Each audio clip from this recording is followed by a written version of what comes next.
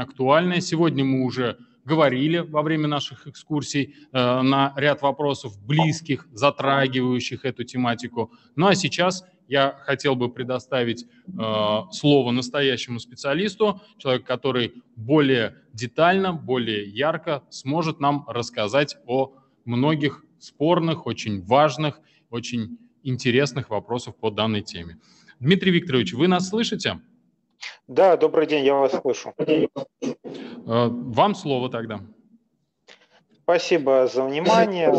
Хочу в первую очередь поблагодарить организаторов зимней школы за возможность выступить по такой очень важной и, как показывают последние события в исторической памяти, очень актуальной теме.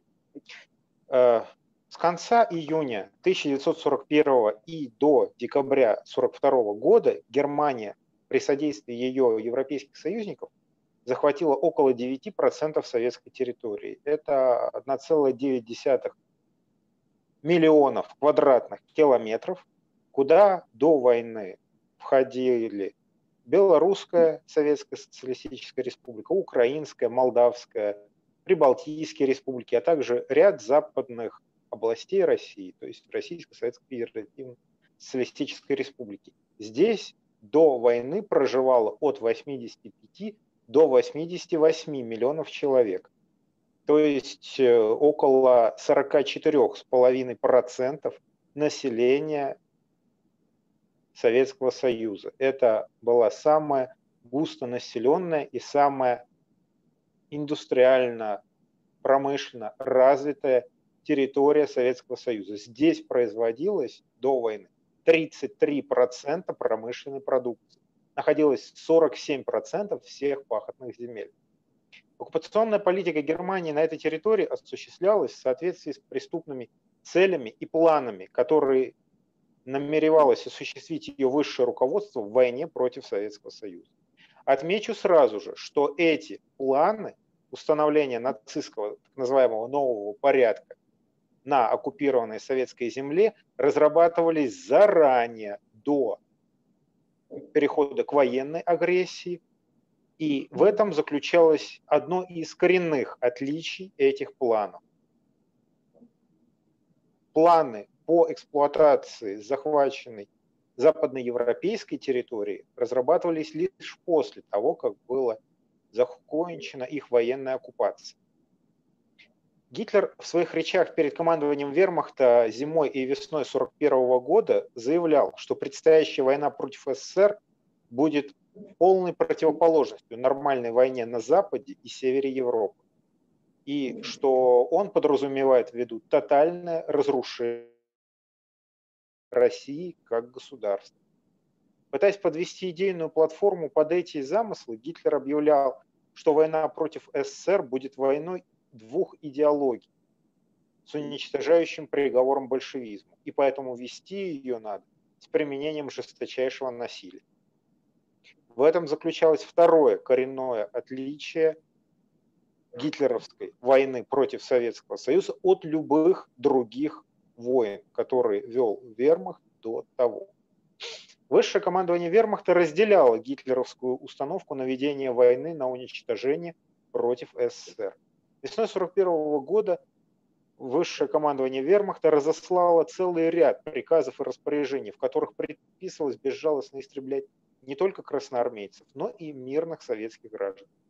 28 апреля 1941 года главнокомандующий сухопутными войсками Браухич издал приказ о порядке использования полиции безопасности ИСД в соединениях сухопутных войск. В нем военачальникам групп армий, предназначенных для нападения на Советский Союз, предписывалось тесно сотрудничать со сформированными в Германии для осуществления террора против местного населения четырьмя энзац-группами. А, энзац-группы СД, каждая из них насчитывала от 800 до 1200 офицеров СС, служащих Главного управления имперской безопасности, и каждая энзац-группа разделялась на энзац-команды, а самым мелким формированием были тейль-команды. Итак, 13 мая 1941 года начальник штаба ОКВ генерал Вильгельм Кейтель подписал подготовленное его штабом распоряжение об, о военной подсудности в районе Барбаросс и особых полномочиях. Согласно этому распоряжению, немецкие солдаты и офицеры заранее были освобождены от любой ответственности за будущие преступления на оккупированной советской территории. От них требовалось быть безжалостными по отношению также и к мирным советским гражданам, чинить над ними расправу без суда и следствия в случае проявления враждебности или неповиновения. 19 мая 1941 года штаб ОКВ издал руководящие указания о поведении войск в России. В них немецким солдатам предписывалось прибегать к беспощадным и решительным действиям против большевистских подстрекателей, партизан, саботажников, евреев и подавлять любую попытку активного или пассивного сопротивления. Конец цитаты. 6 июня 1941 года штаб УКВ на основе проекта, подготовленного Генштабом сухопутных войск, выпустил инструкцию об обращении с политическими комиссарами, более известную как приказ о комиссарах. В ней от солдат вермахта требовалось немедленно расправляться с попавшими в плен политработниками Красной Армии. После начала вторжения вермахта на территорию СССР Гитлер объявил о своем решении расширить границы Третьего Рейха на востоке вплоть до Уральских гор. За Уралом владения Германии должны были бы простираться вплоть до Омска. Территорию к востоку от Омска он был готов передать союзной Японии в качестве платы за вступление в войну против СССР. Рейхсфюрер СС Генрих Гиммлер после начала войны на Востоке как они называли эту агрессию, возглавил работу над так называемым генеральным планом. Этот план сейчас переведен, а, этот план сейчас, точнее сказать, восстановлен по черновикам, переведен группой немецких историков, и каждый имеет возможность с ним ознакомиться. А, в большинстве своем этот план представляет собой расчеты сколько необходимо автомобилей, там, фонарных столбов, угодий и прочего для немецких колонистов, которые будут жить на советской территории. И лишь в самом конце одной небольшой строчкой там прописывается, что советского населения должно остаться около одной трети от его до военной численности.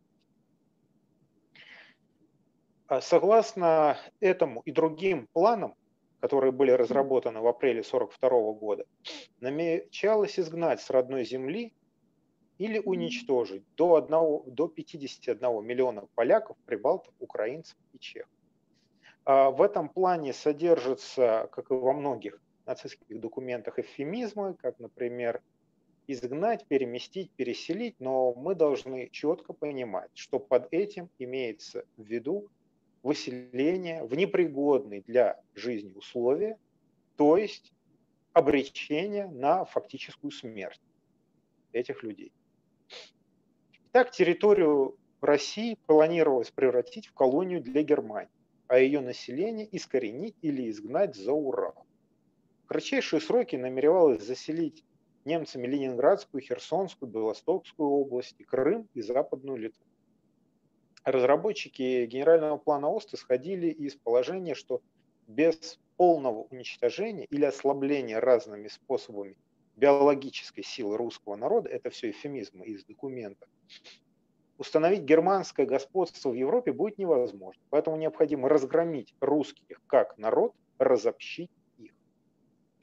Нацистам не удалось осуществить план уничтожения Советского Союза, но за время оккупации части его территории, они совершили бесчисленные, невиданные по своей жестокости во всей истории войн, преступления и злодеяний. Все потому, что эта война изначально задумывалась как расово-идеологическая, преступная. Изначально любые служащие Третьего Рейха получали полный карт-бланш на любые бесчинства на советской земле. С первых же дней нацистские захватчики приступили к уничтожению мирного населения. Особенно свирепствовали НЗС-группы СД. Следуя за наступавшими вглубь страны войсками вермахта, они до середины ноября 1943 года уничтожили более 300 тысяч человек. Управление гражданским населением в Латвии, Литве, Эстонии, части Беларуси и Ленинградской области было передано так называемый рейхскомиссариат Осло, который возглавлял Генрих Лозе. Основная часть Советской Украины и часть Белоруссии были включены в состав Рейхскомиссариата Украины во главе с гауляйтером Эрихом Кохом. Часть украинской территории Львовская, Дорогобычская, Станиславская и Тернопольская области были переданы в состав генерал-губернаторства Германской империи. То есть административного образования, созданного на территории оккупированной Польши, той, которая не была включена в состав Германии. Вся территория, оккупированная гитлеровцами от Москвы до Минска и от предместья Ленинграда до Кавказа, была разделена на районы, которыми управляли военные коменданты. Это была тыловая зона, армейская, в отличие от рейхскомиссариатов, которые считались административной, ну или административно-политической тыловой зоны.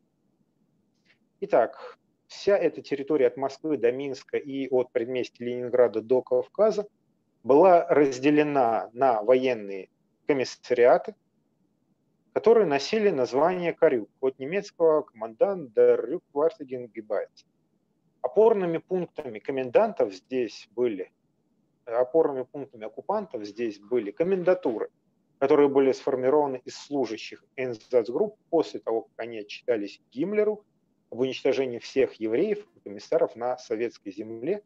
А к началу 1942 года эта цифра составила около 140 тысяч человек. На запад и север от Минска, как я уже говорил, вдоль границ генерал-губернаторства простирался рейхкомиссариат и южнее рейхскомиссариат Украины. Следует особо оговориться о том, что в оперативном тылу вермахта безопасность, в том числе и от советских партизан, обеспечивали охранные дивизии вермахта, а также войска европейских союзников Германии. О численности этих охранных войск можно судить на основании следующих данных. По состоянию на 2 октября 1941 года в распоряжении начальника тылового района группы армий «Центр» Максимилиана фон Шенкендорфа находились 707-я и 339-я пехотные дивизии, кавалерийская бригада СС, 221-я, 286-я и 403-я охранные дивизии. То есть 5 дивизий и одна кавалерийская бригада. Каждая из этих пяти дивизий имела численность от 8 до 9 тысяч человек. В каждой из этих дивизий имелись моторизованные и артиллерийские подразделения для того, чтобы уничтожать партизан, для того, чтобы уничтожать сельские населенные пункты, которые заподозрены в помощи партизан. Но этих сил было явно недостаточно, чтобы противостоять советским партизанам, которые разворачивали активную борьбу. И уже к февралю 1942 года количество охранных дивизий во всем оперативном тылу вермахта было увеличено с 9 до 3, а с 9 до 12. Таким образом, за полгода войны численность оккупационных войск против партизан увеличилась на треть.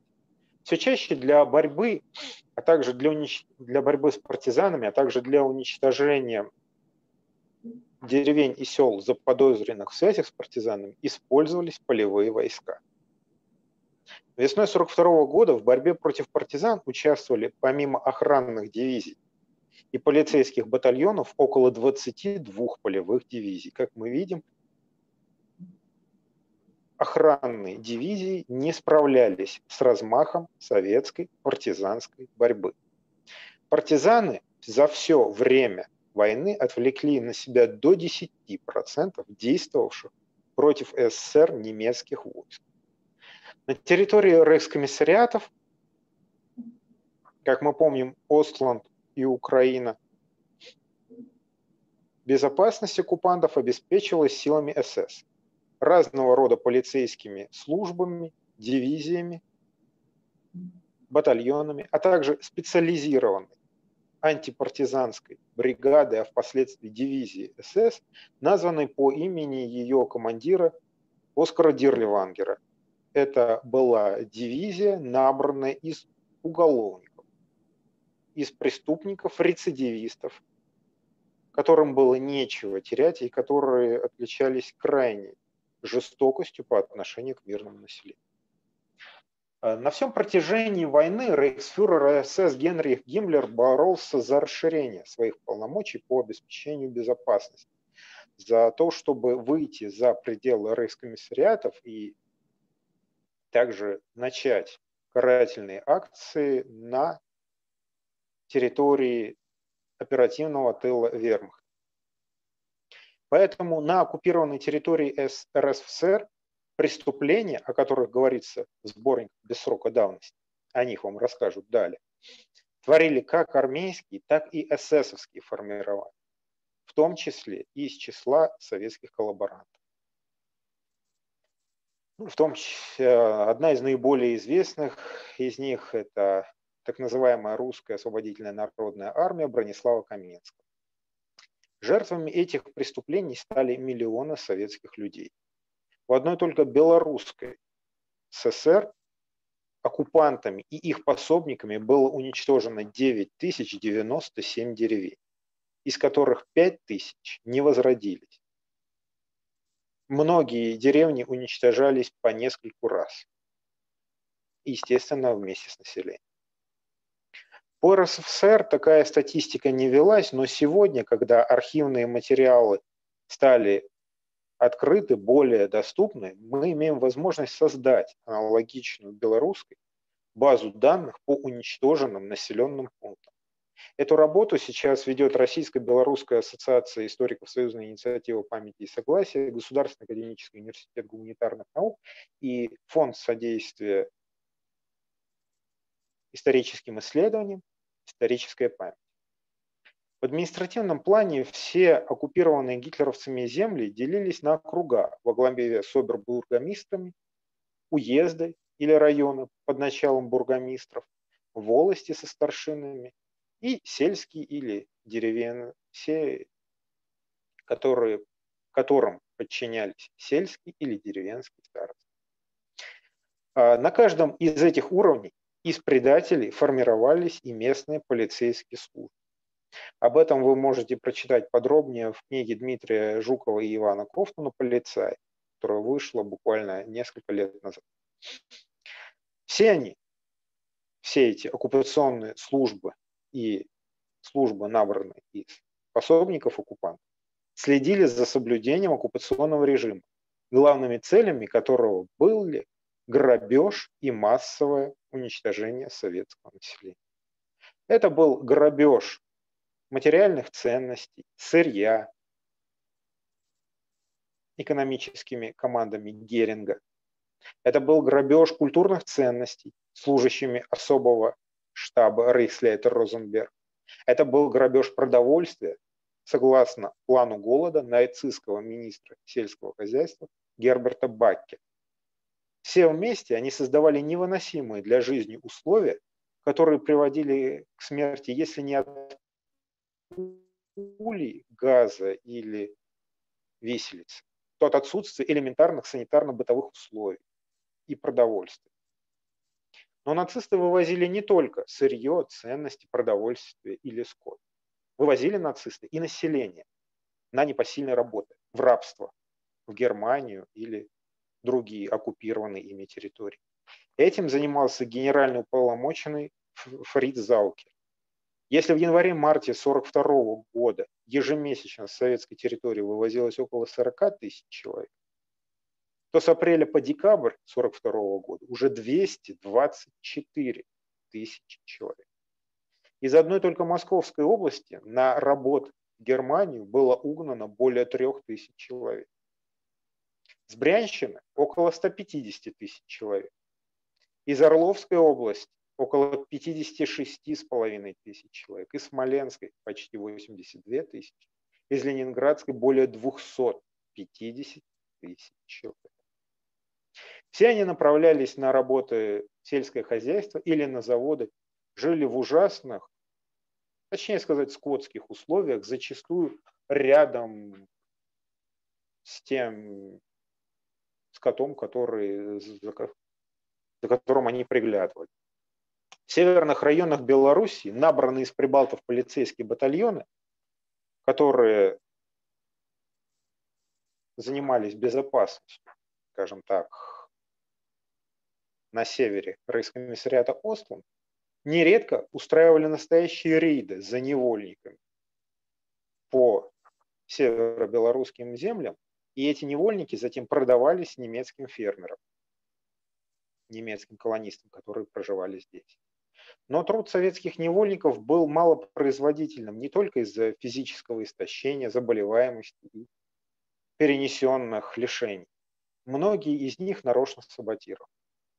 О том, что представляли условия их жизни, вы можете прочитать в записке Кати Сусанин, которая была обнаружена и опубликована в годы Великой Отечественной войны в газете «Комсомольская правда». Территория между рекой Прут и Южный Буг была занята румынскими войсками, которые также участвовали в оккупации Советского Союза. А, отдельные формирования венгерских войск также находились на охранной службе в вермахте. А также Карелия, которая была оккупирована Финляндией.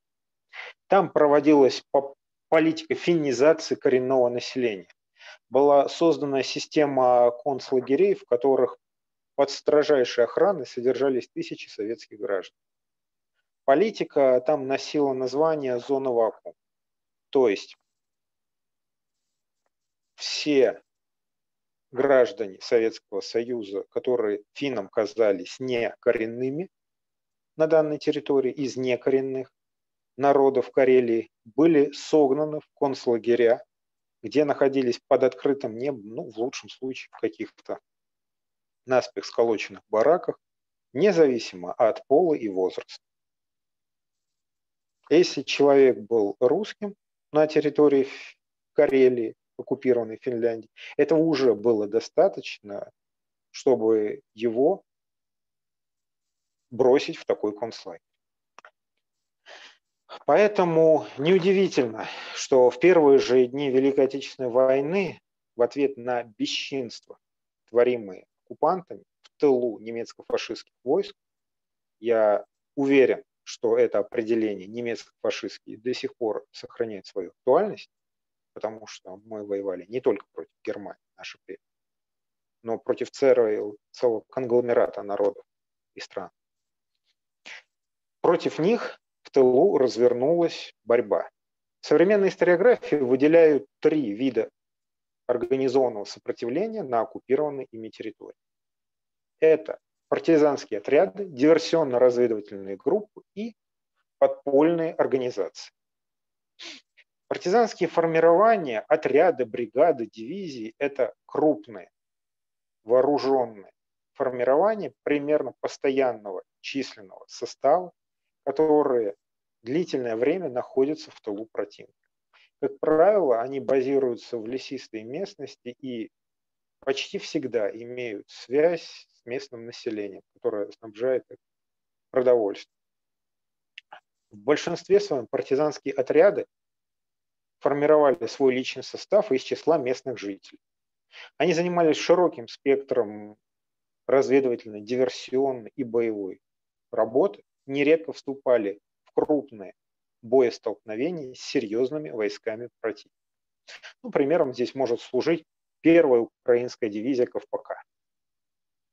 Разведывательно-диверсионные группы или диверсанты – это небольшие группы от нескольких человек до одной роты, которые заранее прошли подготовку в советском тылу, они отправлялись через линию фронта для выполнения одной или нескольких задач, и по ее возвращении снова пересекали линию фронта, прибывая на свою базу. Ну, самым ярким примером здесь может служить группа Зои Космодемьянской.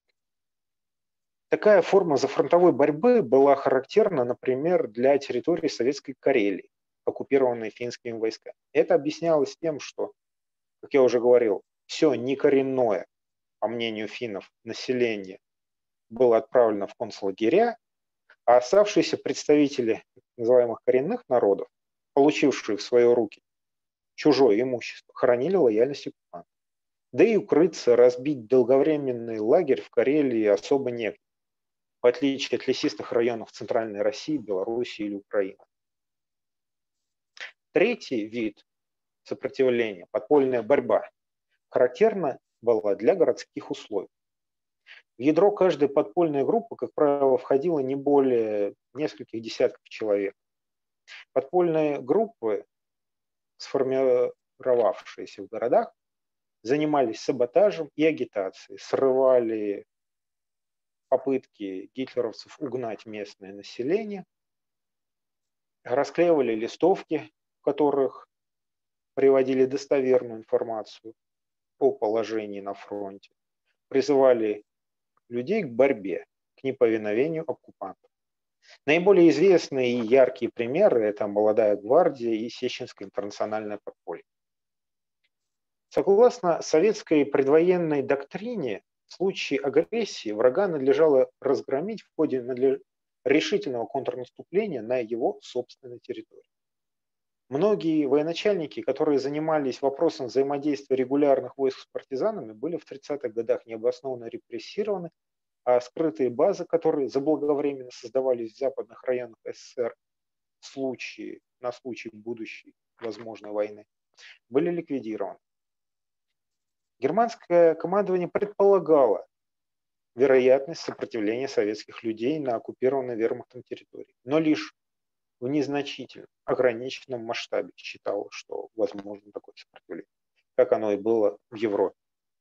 Однако уже через неделю после начала операции «Барбаросса» э, гитлеровское руководство стало осознавать, что оно просчиталось и что для проблемы усмирения тылового района одних охранных дивизий будет мало, и придется снимать с фронта боевые дивизии, о чем я уже говорил выше.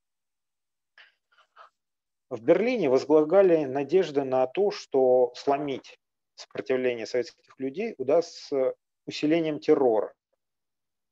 Начальник штаба Верховного командования Вермахта Кейтель 16 сентября 1941 года издал приказ, согласно которому за покушение на одного немца предписывалось брать заложники и уничтожать способом, усиливающим устрашающее воздействие, это цитата из документа, от 50 до 100 мужчин, женщин из числа местных жителей. Но и эти меры показались оккупантам недостаточно изощренными и жестокими.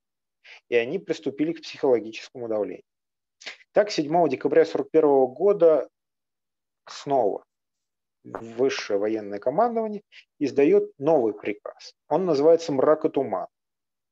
В сопроводительном письме к нему Кейтель писал, действенное и последовательное устрашение может быть достигнуто только смертными казнями или же мероприятиями, оставляющими в неведении о судьбе преступников, его семьи и населения. Но и этого оккупантам показалось мало советская борьба против них набирала обороты. И 12 января 1942 года рейс-министр по делам оккупированных восточных территорий Розенберг создал чрезвычайные суды. Такие суды состояли из офицера СС или полиции. Мы помним, что полиция, все полицейские в Третьем Рейхе имели дублирующие их государственные звания, также звания в СС. Итак, такой суд состоял из офицера полиции или СС и двоих его подчиненных. Эта тройка имела право выносить любые приговоры и тут же исполнять, приводить их в исполнение. Никакого расследования, никаких апелляций, ничего этого не было. Сплошной произвол. Одновременно захватчики использовали метод кнута и пряника, тщательно скрывая свои замыслы превращения СССР в колонию Третьего Рейха и массового уничтожения его населения.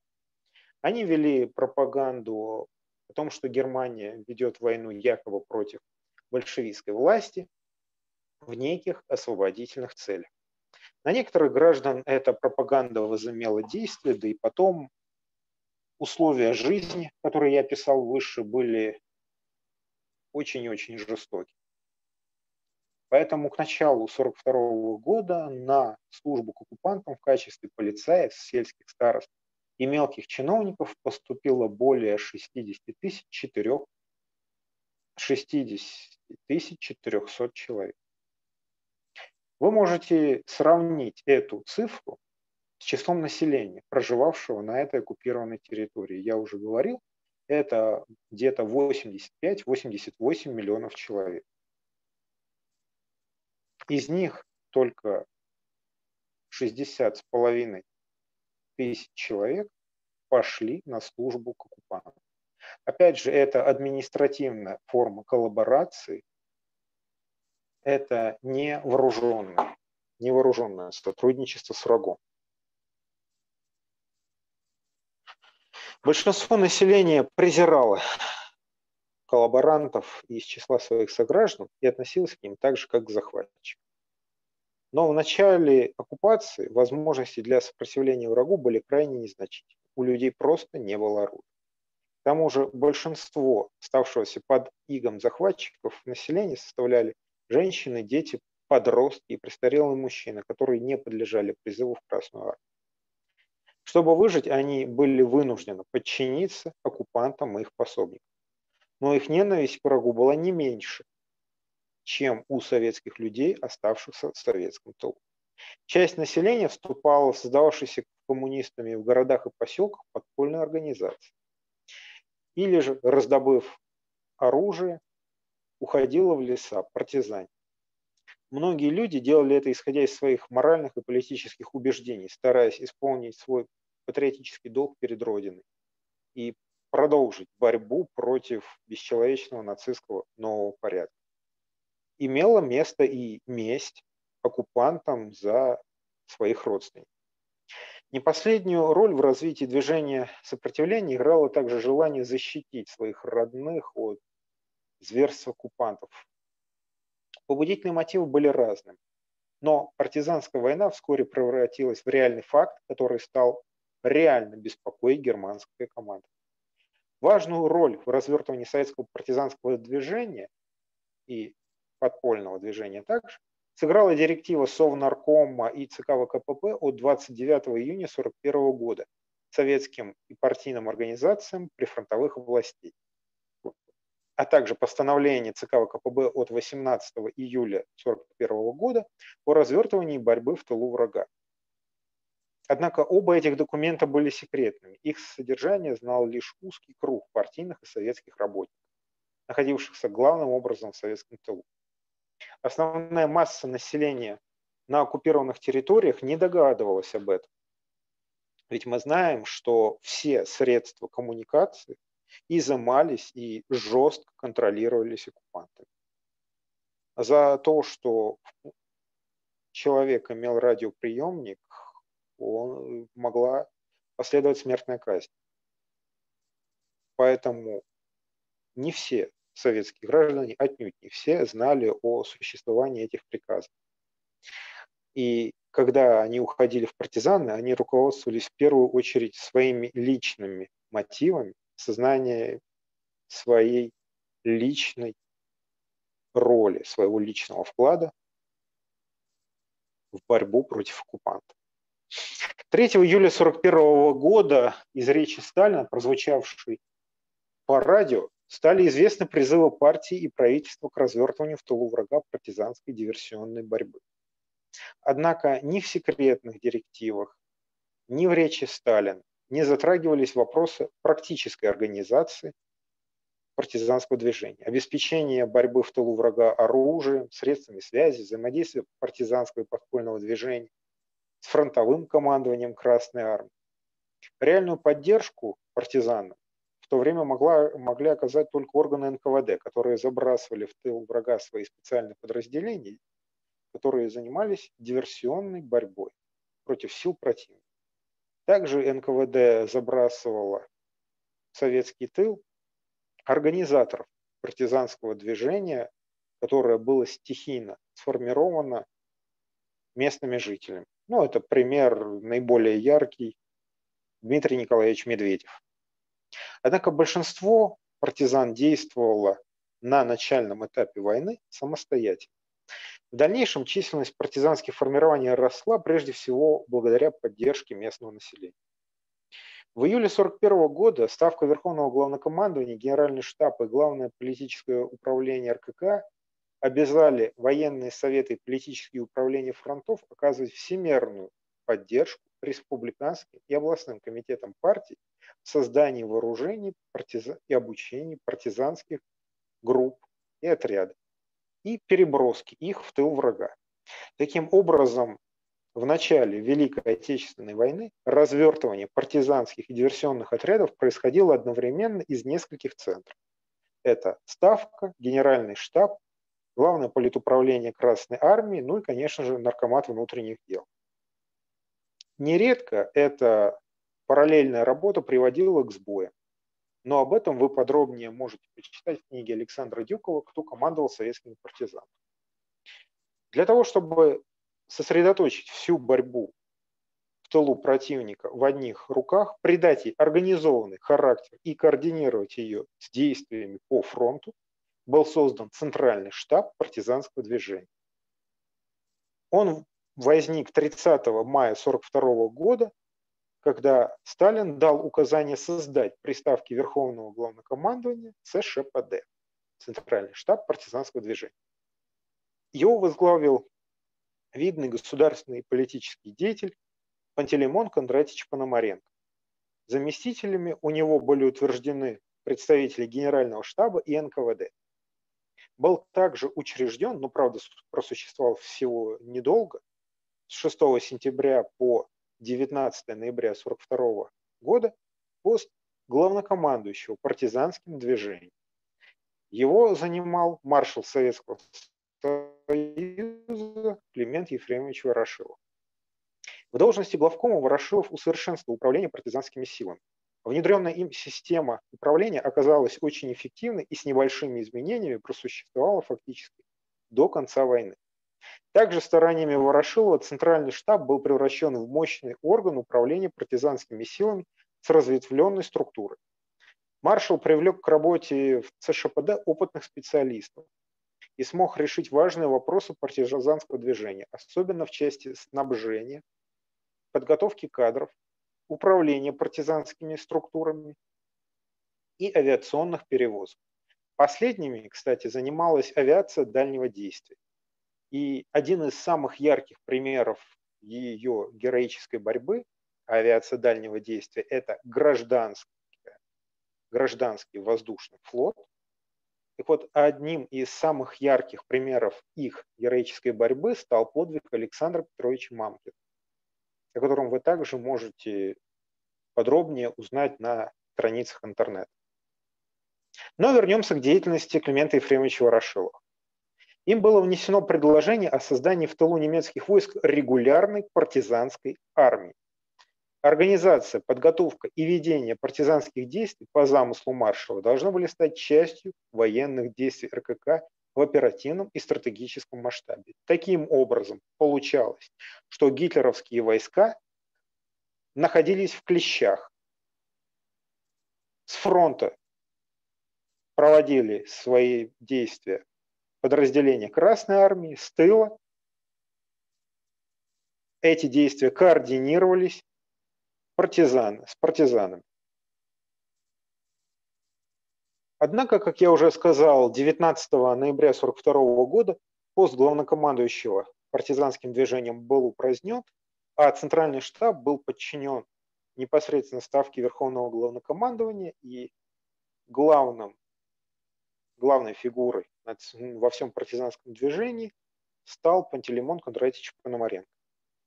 По мнению советского специалиста по диверсиям Ильи Григорьевича Старина, упразднение поста главнокомандующего партизанским движением негативно сказалось на его развитии. Но, тем не менее, были сделаны решающие шаги для обеспечения взаимодействия фронтовых и за фронтовых советских операций против войск оккупантов. Центральный штаб партизанского движения, подчиняясь Ставке, осуществлял общее руководство партизанским движением и работал в тесном контакте с генеральным, с генеральным штабом, военными советами фронтов и армий, руководителями партийных органов республик и областей. Он выполнял обширный круг задач по организации, планированию и руководству боевыми действиями партизан, налаживанию связей с подпольем, с партизанским формированием, их материальному обеспечению с большой земли, подготовке кадров, специалистов, организации разведки. В Москве даже была организована целая школа подрывного дела, куда вывозились специалисты, подрывники из различных партизанских отрядов. Это один из примеров работы ЦШПД. А в действующих фронтах с аналогичными функциями были созданы республиканские и областные партизанские штабы, которые в оперативном подчинении, в оперативном отношении подчинялись Центральному штабу партизанского движения, а в армиях оперативные группы этих штабов. Их начальники были включены в состав военных, фронтов, военных советов фронтов ФР. В конце 1941 года на оккупированной территории удалось закрепиться трем с половиной тысячам партизанским отрядам и группам, которых насчитывалось около 90 тысяч человек. Большую роль в организации становления партизанских формирований сыграли советские военнослужащие, те так называемые окруженцы, оказавшиеся при отступлении в окружении, но избежавшие плен, или же бежавшие из плена. Среди партизан Ленинградской области численность вчерашних советских военнослужащих составляла в 1941 году 18%, в, Лени... в Орловской области 10%, в Литовской 22%, в Беларуси 10%. Они привносили в партизанские отряды дисциплину, знание оружия, боевой техники, тактические навыки, оперативное видение своих задач. Опираясь на их боевой опыт, партизаны увереннее решали поставленные задачи. Во время Московской битвы партизаны фактически дезорганизовали снабжение немецкой группы армий «Центр», разрушая в ее тылу участки железных дорог, мосты, устраивая завалы на железнодорожных путях. В январе-феврале 1942 года партизаны Смоленской области освободили в тылу группу армий «Центр» 40 сел. 40 сел и деревень, где десантировались советские войска. Они отбили у противника Дорогобуш и объединились с соединениями Красной Армии и вместе совершили рейд по тылам немецких войск. В ходе этого рейда было освобождено около 10 тысяч квадратных километров. Немецкое командование было вынуждено бросить против них с фронта 7 дивизий. В Московской битве партизаны взаимодействовали со спецотрядами НКВД, которые активно действовали в тылу противника, громя его гарнизон, уничтожая технику и личный состав соединений. Деятельность штабов партизанского движения и, вызван, и вызванный разгромом гитлеровцев под Москвой патриотический подъем среди населения оккупированных районов оказали большое влияние на рост сопротивления в тылу врага и повышение эффективности партизанских действий. Победа Красной Армии под Москвой имела такое же вдохновляющее, ободряющее значение и для европейского сопротивления также.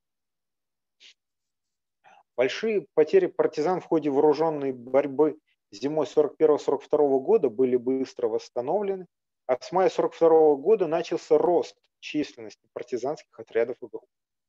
Если в мае 42 года в тылу врага действовало 500 партизанских отрядов, включавших в себя 72 тысячи человек, то к середине ноября 42 уже 11 тысяч 770 отрядов, в которых сражалось 125 тысяч партизан.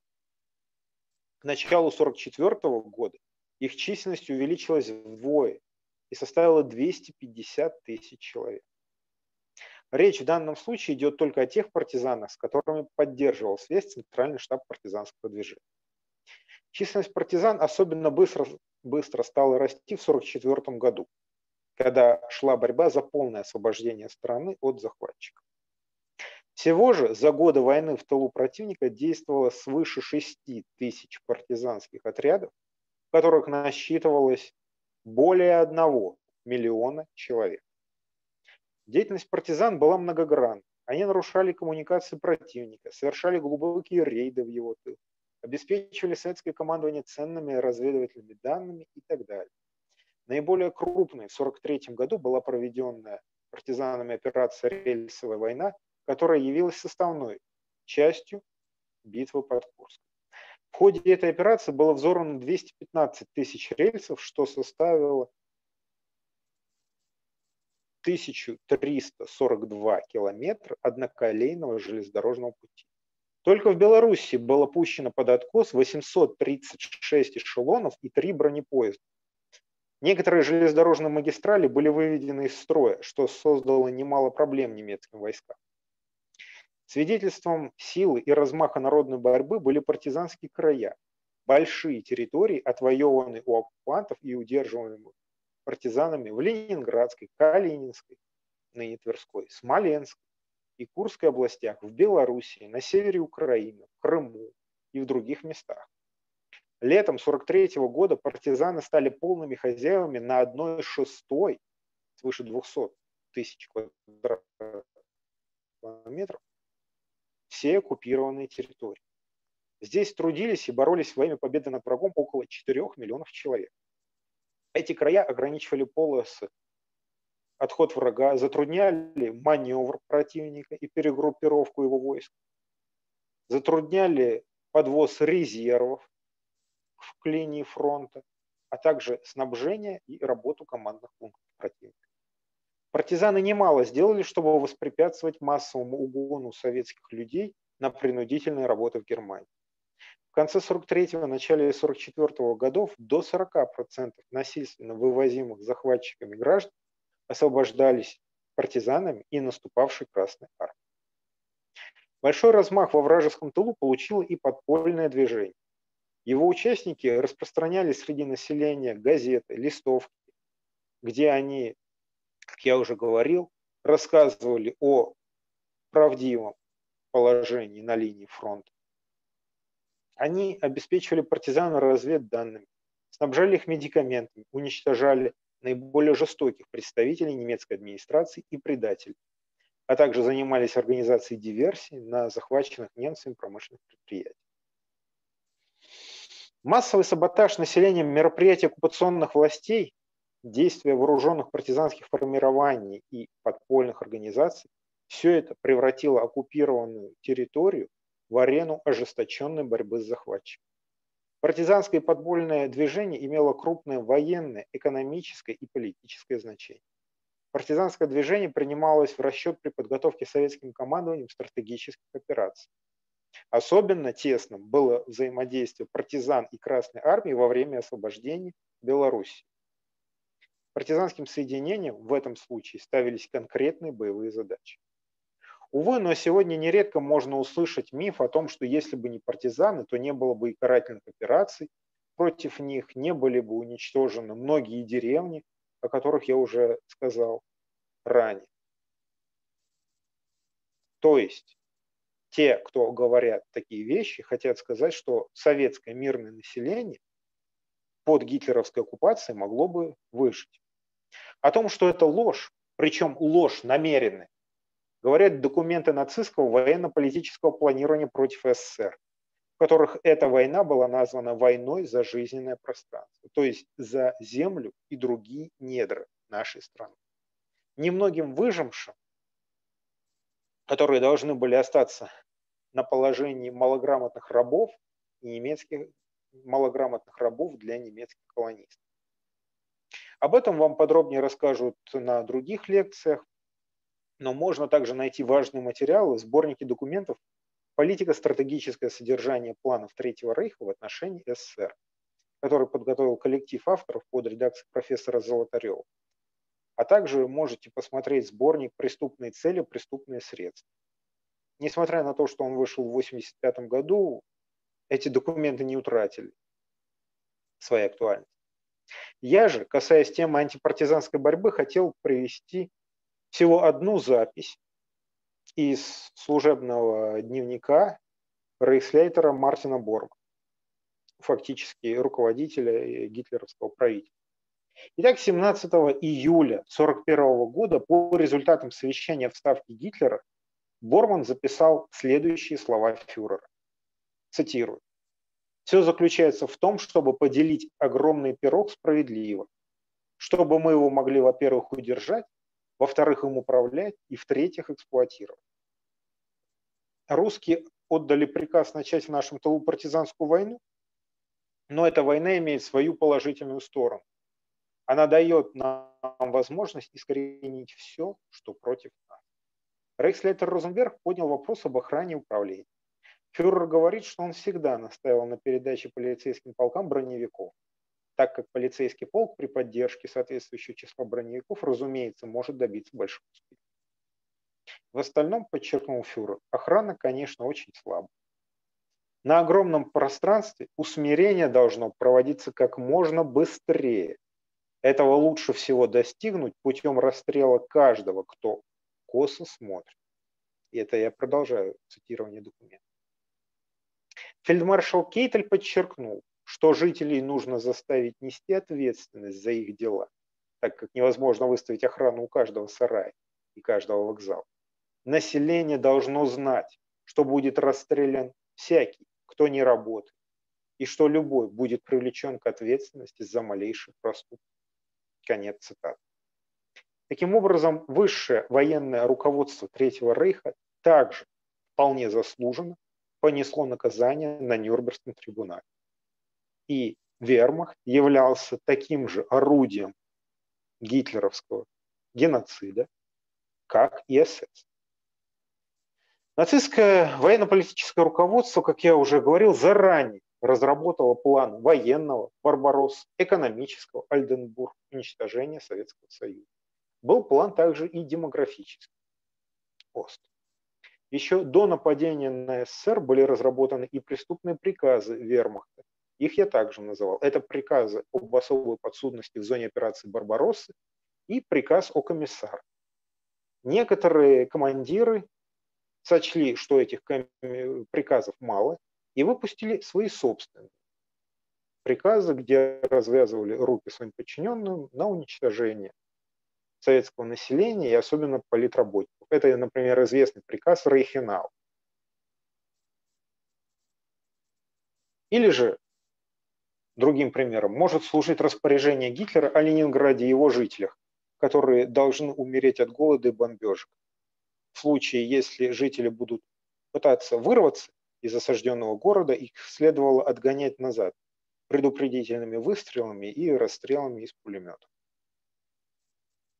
Вот та правда, вот те документы, которые сегодня извращают некоторые режиссеры кинофильмов о том, что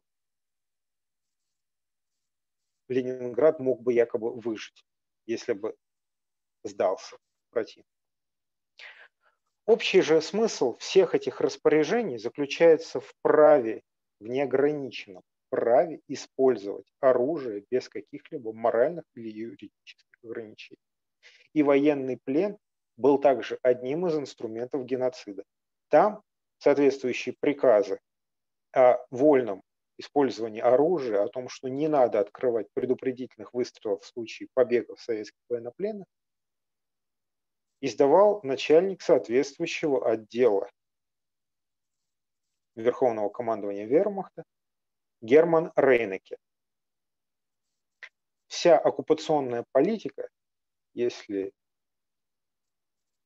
ее суммировать, сводилась к триединой цели – разграблению, эксплуатации советского народного хозяйства и уничтожению миллионов людей за формальные провинности, за прямое неподчинение, а также военнопленных. Мы можем легко сравнить рацион калорийность рациона немецких военнопленных в советском тылу, который почти был, составлял минимальную норму, необходимую для проживания, и калорийность рациона советских военнопленных в немецком тылу, который в разы был меньше нормы, необходимой для поддержания жизнедеятельности. Политика уничтожения Советского Союза, его разграбления и уничтожения его населения осуществлялись формированиями СС полиции, вермахтом, экономическими командами Геринга и многими другими органами захватчиков, в том числе особым штабом Рейхслейтер Розенберг, который занимался грабежом культурных ценностей. Цель уничтожить и разграбить как можно больше захватчиками в этой войне была выполнена. Разбойничья война, развязанная против Советского Союза, обошлась ему в очень большую цену. Чрезвычайная государственная комиссия по расследованию злодеяний немецких фашистских оккупантов и их пособников оценила только прямой ущерб, то есть непосредственно уничтоженная гитлеровцами, их пособниками, их союзниками, в 679 миллиардов рублей в ценах 1941 года. Или в 128 миллиардов долларов США. Также, соответственно, в ценах 1941 года. Но в итоге Советский Союз снизил размер своих репараций более чем в 10 раз. И, в общем-то, Советский Союз пошел на это сознательно. Так, будущий заместитель наркома иностранных дел Иван Майский в телеграмме наркому иностранных дел Молотову еще в 1943 году написал, что ущерб, который причинила Германия, настолько велик, что Советский Союз никогда не сможет его взять. Поэтому надо остановиться на какой-то цифре более или менее приближенной к репарационным возможностям Германии. А именно 10 миллиардов долларов США. Советская страна потеряла треть своего национального богатства, но даже эти 10 миллиардов долларов США она не получила с Германией, потому что началась холодная война, и Советскому Союзу пришлось удовлетворять свои репарационные требования только с восточной, наиболее пострадавшей во время войны территории Германии. Естественно, что вывести из нее эти 10 миллиардов долларов означало превратить ее в пустыню, что отнюдь не соответствовало интересам Советского Союза. Для сравнения, потери Франции выражались в сумме 30 миллиардов долларов в Голландии, 10 миллиардов долларов в Греции, 3 миллиарда долларов. Единственной страной, которая полностью погасила свои репарационные требования, предъявленные Советским Союзом, была Финляндия, которая выплатила 226,5 миллионов долларов. В ходе Великой Отечественной войны Советский Союз потерял более 25,5 миллионов человек. При этом было преднамеренно истреблено гражданского населения более 7420 человек. Погибло на принудительных работах в Германии 2, более 2 миллионов 164 тысяч человек. Погибло от жестоких условий оккупационного режима, голод, инфекционные болезни, отсутствие медицинской помощи 4 миллиона 100 тысяч человек. Таким образом, потери гражданского населения Советского Союза составляют 13 тысяч, более 13 тысяч 684 человек. То есть более половины из 25,5 миллионов человек, которые потерял Советский Союз во время Великой Отечественной войны, это потери гражданского населения. Существует также статистика потерь по каждой республике с учетом детей. Но эти страшные цифры могли бы быть куда как больше, если бы Советский Союз проиграл ту страшную войну. И большой вклад в победу над захватчиками внесли партизаны, подпольщики и диверсанты. Некоторые из них после освобождения советской территории продолжили войну против Гитлера. Партизаны, несмотря на жестокие карательные операции, сорвали планы нацистского руководства использовать материальные и природные ресурсы оккупированной советской земли для обеспечения Германии ее вооруженных сил. Партизаны нанесли большой урон противнику. Ими было спущено под откос 20 тысяч воинских эшелонов, подорвано 120 бронепоездов, выведено из строя 17 тысяч паровозов и 171 тысяча вагонов взорвано 12 тысяч мостов на железных и шоссейных дорогах, уничтожено и захвачено 65 тысяч автомашин. Вместе с советскими партизанами и подпольщиками на временно оккупированной территории СССР сражались тысячи других иностранных граждан. Словаки, поляки, венгры, болгары, испанцы, югославы и другие. В то же время в европейском сопротивлении участвовало до 40 тысяч советских граждан, оказавшихся за пределами Родины это в первую очередь военнопленные. Некоторую часть в европейском сопротивлении составляли также и представители российской иммиграции. Как бы то ни было, но временно оккупированная советская территория не стала для захватчиков обеспечена спокойным тылом. Их, за счет, их расчеты заставить граждан СССР безропотно работать на Германию не оправдались. Это была первую очередь заслуга партизан и подпольщиков, которую высоко оценило государство. Более 300 тысяч партизан были награждены орденами и медалями. 249 партизанам было присвоено звание Героя Советского Союза, а двое руководителей партизанского движения, Ковпак и Федоров, были удостоены этого высокого звания дважды. О значении партизанского движения в победе над немецко-фашистскими оккупантами свидетельствуют слова маршала Советского Союза Василевского. По опыту своей работы, говорил он, я могу с полным основанием утверждать, что партизанское движение в тылу врага играло роль важного фактора в общих стратегических планах и расчетах Верховного Главнокомандующего. Большое спасибо за внимание.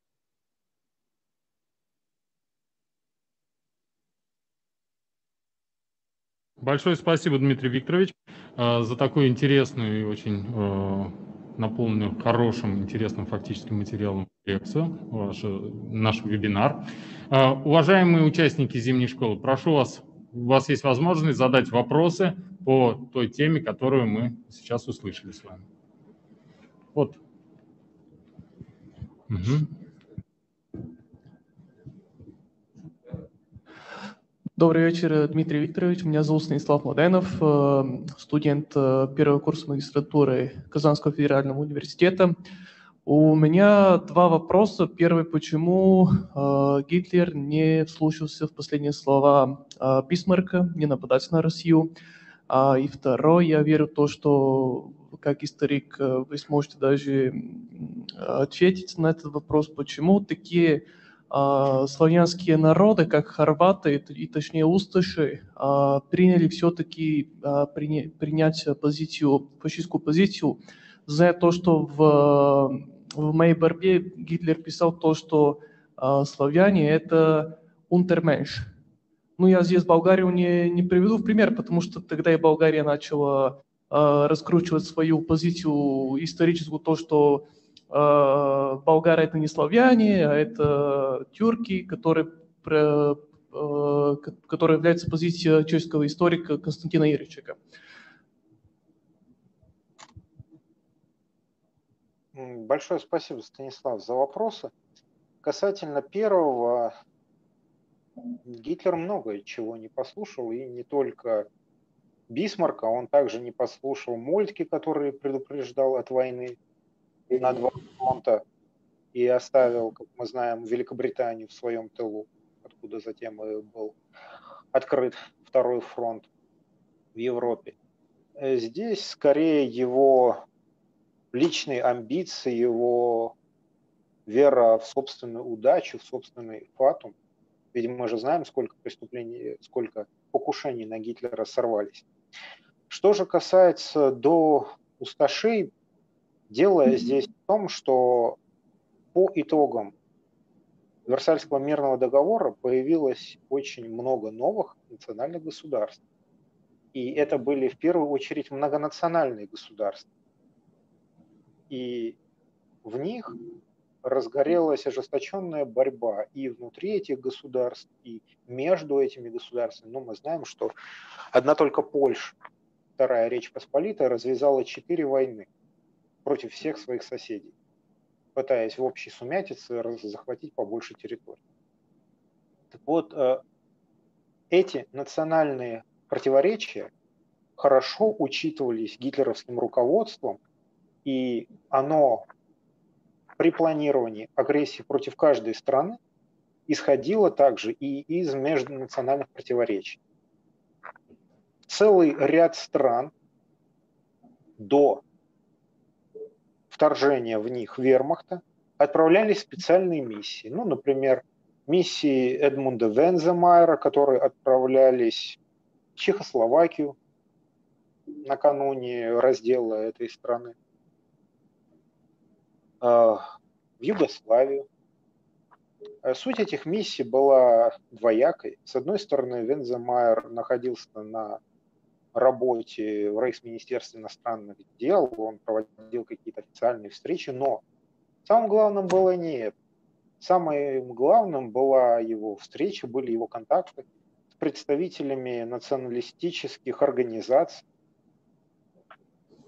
а, как это было в случае с Чехословакией, со словаками, как это было в случае с Югославией, с хорватами. И эти националистические организации поощрялись и подпольно снабжались гитлеровским оружием для того, чтобы начать борьбу, начать свой террор против мирного населения, против законных властей накануне вступления туда гитлеровских войск. Ну, впрочем, справедливости на, ради надо сказать, что этим занималась не только Германия, не только Третий Рейх.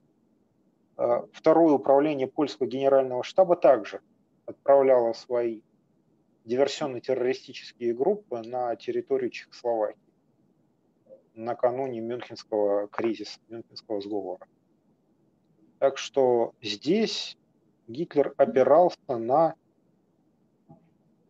национальную проблему в этих недавно сформированных государствах. Следующий вопрос. Спасибо. Уважаемые участники, следующий вопрос. Здравствуйте. Я студент из МГИМО из Индии. Спасибо большое за прекрасную лекцию. У меня был вопрос. А, получили а, югос, югославянскими этот, э, партизаны какие-то поддержки из Москвы и Советского Союза тогда? Да, конечно.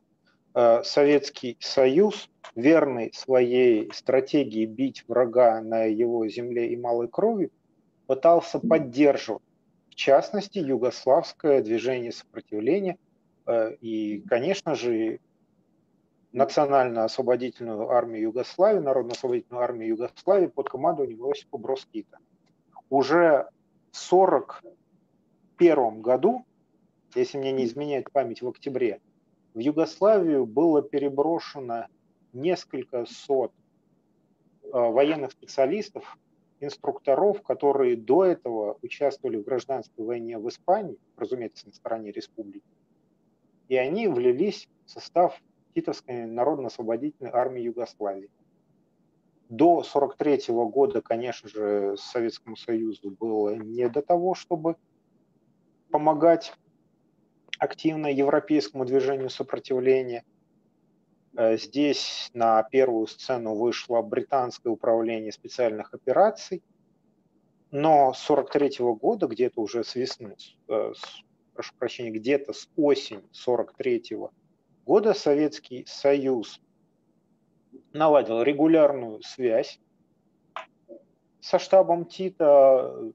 Там имелась специальная авиагруппа Дмитрука, генерал Дмитрук, который фактически эвакуировал Тита, когда германское командование устроило операцию «Ход конем», то есть развернуло охоту на Тита и карательную и широкомасштабную карательную операцию. Так что в немалой степени развитие югославского партизанского движения – это заслуга и Советского Союза тоже. Спасибо. Еще один вопрос. Добрый вечер. Сысоева Анастасия, МГИМО России, четвертый курс. Во-первых, благодарю вас за лекцию, очень интересный. Во-вторых, мой вопрос. А, чрезвычайные суды, которые вы упоминали, были созданы оккупантами по типу тройка НКВД, или это все-таки, я не знаю, какая-то распространенная практика просто была в мире, или все-таки по типу вот именно Сталин, сталиновских троек? Спасибо. А, Анастасия, я бы здесь не стал проводить вот такое сравнение. Здесь, если можно сравнивать, то какие-то внешние вещи. Э, ну, например, то, что этих людей было трое, которые выносили решение. Э, в действительности сталинские тройки, по-моему, все-таки опирались на материалы хоть какого. Затем была признана преступность ряда этих приговоров и была проведена реабилитация. Здесь же никакого следствия, никакого, никакой апелляции вообще не было возможно, они не предусматривали. Сразу же вердикт, сразу же из приведения в его в исполнение. Это то же самое, как некоторые пытаются сравнивать советские лагеря ИТЛ и гитлеровские концлагеря. Это, опять же, сравнение основано чисто на формальных критериях и не выдерживает критики, потому что я уже говорил, что, например, в лагерях для военнопленных советские военнопленные получали рацион с калорийностью в 2-3 раза ниже, чем минимум необходимый для проживания это были лагеря для уничтожения людей. В советских же лагерях ставилась система, ставилась цель, во-первых, физической эксплуатации этих людей, то есть какой-то минимум им должен был быть обеспечен, а во-вторых, их перевоспитание, чтобы затем, выйдя из лагеря, они стали законопослушными советскими гражданами. Поэтому это сравнение, еще раз повторюсь, имеет лишь только какие-то внешние критерии, весьма небольшие, и не является корректным. Спасибо. Спасибо большое, Дмитрий Викторович. Давайте поблагодарим нашего уважаемого лектора за сегодняшнее занятие. Дмитрий Викторович, большое